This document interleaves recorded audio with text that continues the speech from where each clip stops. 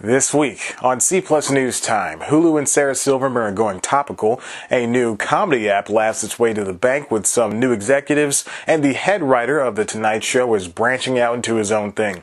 I have to admit, I've been wanting to branch out into my own thing for a long time now. C Plus Comedy is great and everything, but isn't it time I started my political talk show, Poli Sci with Chad White? My first target is that do-gooder Chris Hayes. You hear that, Hayes? You may be a nice guy with a solid grasp on the political landscape around us, but I'll be damned if you have an interview with Phoebe Robinson before me.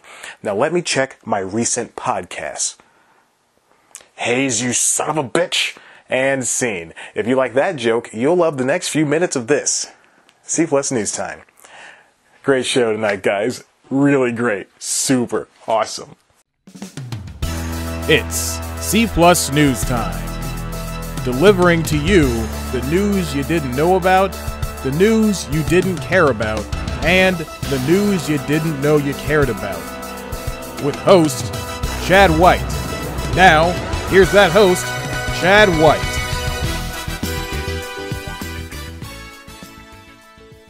One of Atlanta's highways exploded last week, and now I can't get to Magic City. Daddy needs to drop some singles, and I'm not talking about dollars.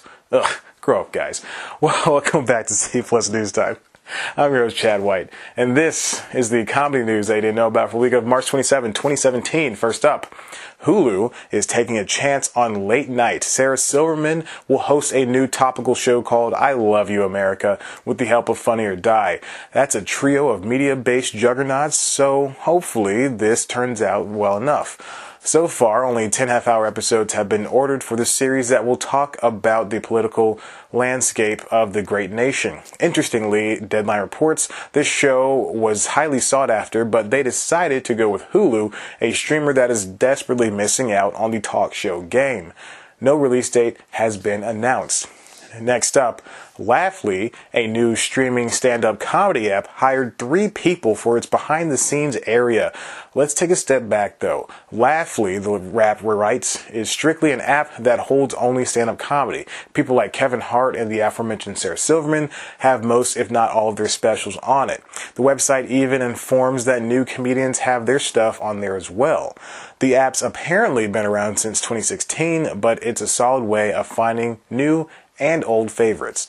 Anywho's, the three new hires are Mark Seaman, who will be head of programming and original content, Kelly Anakin, whose role is head of product, and Elliot Peters, who is who gets to play acting general counsel and strategic advisor. Each one of them has a place in the comedy or audio world. Seaman created the Laugh Button, a website that I see as my number one threat in terms of comedy sites. Anakin was a senior producer at Rooftop Media, which is the mom corp of Rooftop Comedy, a service that records and licenses comedy performances.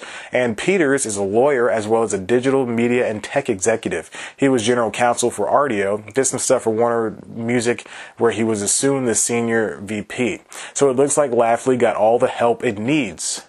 You know, guys, I'm not exactly married to C plus comedy. For the right price, I could, no, never mind, never mind.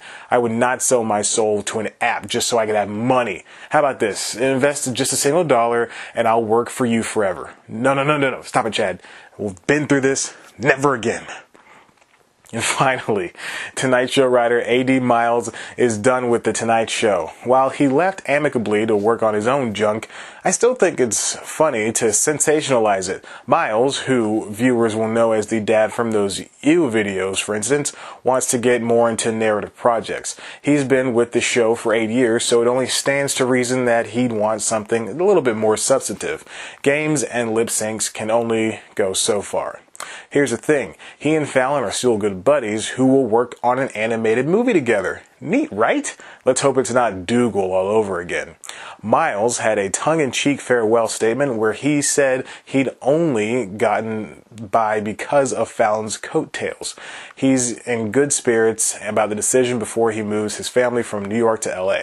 Miles has already appeared in several projects in his career from Wet Hot American Summer to Reno 911, so it's not like he's going in dark.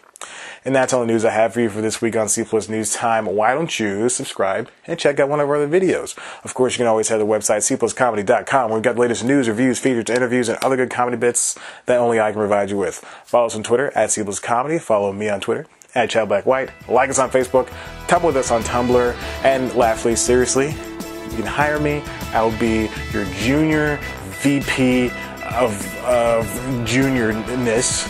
I have a lot to offer the company, and this is my resume. C plus News Time. Goodbye.